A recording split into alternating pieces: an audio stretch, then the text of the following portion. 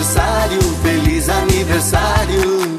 Parabéns pra você, feliz aniversário. Planeta Sertanejo.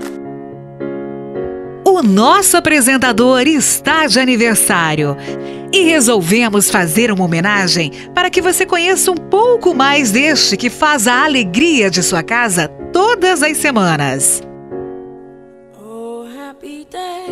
Jefferson é o filho mais velho dentre três irmãos, que são Fausto e Fabiola.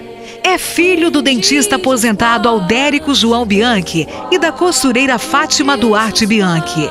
Nasceu na pequena cidade de São Miguel do Iguaçu, oeste do Paraná, mas com apenas um ano de idade, mudou-se com seus pais para Foz do Iguaçu. Passou sua infância e adolescência no bairro Três Lagoas. Lá, fez grandes amigos, participando das atividades da comunidade, de gincanas e festivais. Estes também por todo o Paraná, saindo-se muito bem nas colocações.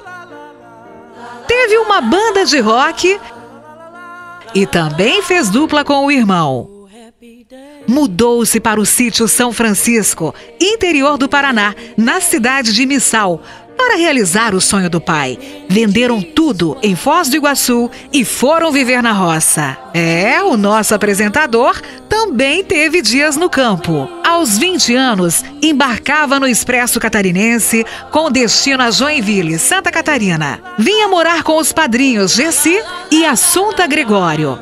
Lá ficou por seis meses, trabalhando como servente de pedreiro, com um salário de 130 reais, com seu primo Claudemir de Paula, tentando uma vida nova na cidade grande. A convite deste primo, veio para Gaspar, Santa Catarina, onde diziam ter ótimas oportunidades de crescimento. Ali, trabalhou em várias empresas da área têxtil e metalúrgica. Mas a música bateu novamente à sua porta, trabalhando como DJ, mas sempre pensando no rádio. Mas a sua vida mudou mesmo quando chegou em São João Batista onde realizou seu sonho de trabalhar no rádio. Começou na Rádio Clube de São João Batista. Logo depois, veio trabalhar em uma rádio interna em um shopping de Brusque e entrou para a rede Guararema de rádio. Hoje trabalha também na Rádio Araguaia, das 13 às 14 horas diariamente.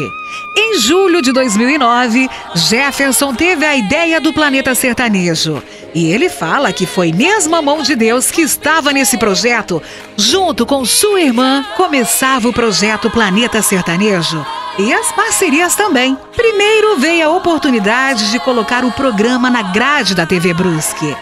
Rodrigo Santos, o diretor, deu toda a força. A produtora CR Brasil Vídeo Logo depois, a Sheila também chegava para a taipa do fogão. Ideias e quadros foram estudados pela direção do programa, que mais tarde sua esposa e fiel escudeira assumia também. O programa foi criando forma e com três meses no ar, o planeta já estava em rede nacional e internacional, com uma parceria que nos enche de orgulho com o canal Agromix. Hoje também exibe o planeta a TV Cidade de Joaçaba, no Oeste Catarinense. Contamos um pouco de sua trajetória até aqui, mas não temos dúvidas de que é só o começo, pois todo dia você acorda com novas ideias e a realização delas é só um detalhe. Hoje queremos te desejar um dia feliz, pois hoje realmente é um grande dia.